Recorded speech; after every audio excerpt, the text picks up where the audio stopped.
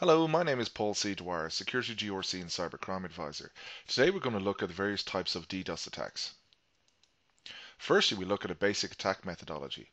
Then we'll uh, revise some jargon, some basic jargon that we need to go over in order to explain how these attacks work. Then I'll look at some of the main uh, attack vectors or attack types from ICMP ping flood, UDP flood, Smurf attack, SYN flood, GET request, frag flood, and a, finally a DNS amplification attack. Okay, so a typical attack scenario uh, starts off with a botnet herder who will have a command and control server. This command and control server will be contacted via a number of proxy servers in order to disguise the identity of the botnet herder.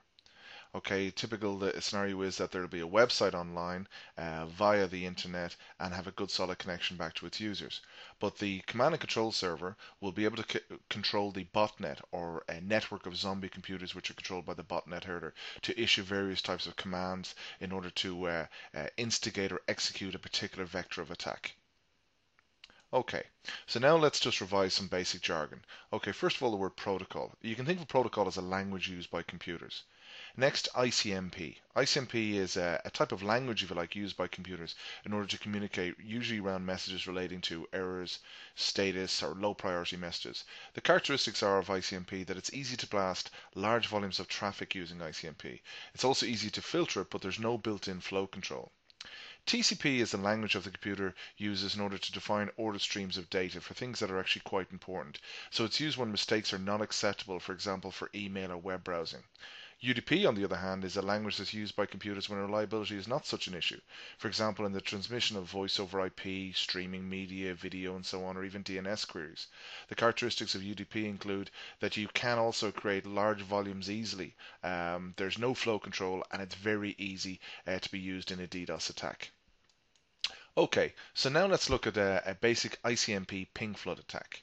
Here we have the typical scenario of a website online uh, with a connection through to its good users, and we see we have the botnet herder via the proxy server uh, controlling uh, the botnet via its, its command and control server. Well, what they will do is they will issue out what's known as a ping or an ICMP packet. Uh, these ICMP packets will target the uh, website, and uh, this can be done, and it's been done to great extent in the likes of the, the cyber war with Estonia and Georgia and so on. There's also tools to automate this, but this will create large amounts of traffic uh, hitting the site in which the, the, the, the site has to actually send back um, a response to that, which will keep the site very, very busy and effectively be able to block the site from access to the good users.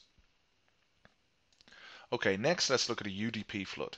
A UDP flood um, uh, uses a UDP protocol, um, and the way that works is that it will uh, look for ports, and ports you can think of are like doorways on your computer. And there's various types of doorways, and the reason we use firewalls are that the firewalls uh, protect those various doorways. When a UDP packet is sent out, uh, your computer then has to look for what program may be on your computer looking for that particular um, UDP port or UDP doorway. Um, it has to send back what's known as an ICMP Destination unreachable packet as a response. So that all takes time, that takes processing power uh, of the machine and resources, and eventually will bog the machine down and make the machine unavailable to good users. Okay, next we have a an old one, but uh, it's known as a Smurf attack. Smurf attack is uh, slightly different in so far as the echo request is sent to um, a router on the network, and that is uh, will forward uh, the broadcast off to uh, the broadcast network. Now, what they'll do is they'll actually forge the reply address to be the address of your website. So, in other words, when the uh, when the response comes back, all the responses or the echo reply will actually be sent to your website website, uh, taking your website offline. Okay, next we have what's known as a SYN flood attack. Um, initially, when computers um, uh, communicate with each other, for example, when you hit a website, um, the two computers have to handshake. This is known as a SYN ACK, where a SYN packet is sent um, across uh, to, to the website, and what we'll receive back is what's known as an ACK packet, uh, or short for acknowledgement. Um, SYN is short for synchronization. Um, the next part of that is actually a pause. So during a SYN flood attack, a vast number of SYN uh, uh, packets will be sent to a website, um, leaving that website to have to respond with a large number of ACK uh, or acknowledgement packets and also those pauses that will be also put in there as well, which overwhelms the website and makes it unavailable to the uh, uh, legitimate users. The next type of attack we look at look at is known as a GET request. Um, a GET request is that when you actually uh, visit a website, um, a GET request uh, is is used to bring down the uh, web the web page and so on and bring it back. Um, using a GET request uh, attack vector, a vast number of these GET requests will be sent, for example, targeting maybe one particular file on your website. For example, a large graphic file or large document or so on like that. That simply overwhelms the website and makes the website unavailable to good users. The next type is known as a frag flood or a teardrop attack. This type of attack is when um, fragmented packets, there's, there's, two parts of this attack if you like. The first part is where it tries to use a vast number of volume uh, of packets in order to overwhelm the various uh, network topology from firewalls, the servers, the routers and so on.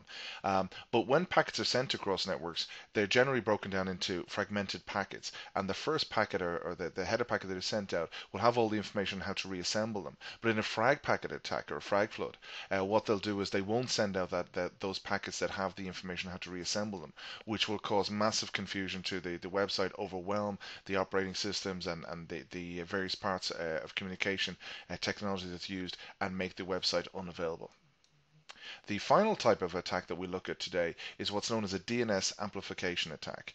And this is a, a totally different type of vector. In fact, that you don't even use to, you don't even have to use botnets involved in this. This is based on the uh, premise that there's a number of uh, large number of misconfigured DNS servers. This is a very very powerful attack uh, that can be used and a miscreant can send a command, a, spe a, specific query type command, to a DNS server, and the response, they can send hundreds of thousands of these queries to them, and the responses need to be sent to a particular um, uh, address. And of course, that address will be uh, your website. Uh, so all of those hundreds of thousands of replies from these DNS servers all over the world would start bombarding your website and making your website unavailable for everybody. These attacks have been used to even take countries offline. They can produce massive amounts of volumes of traffic very quickly um, in order to be able to take down even, even the largest infrastructures.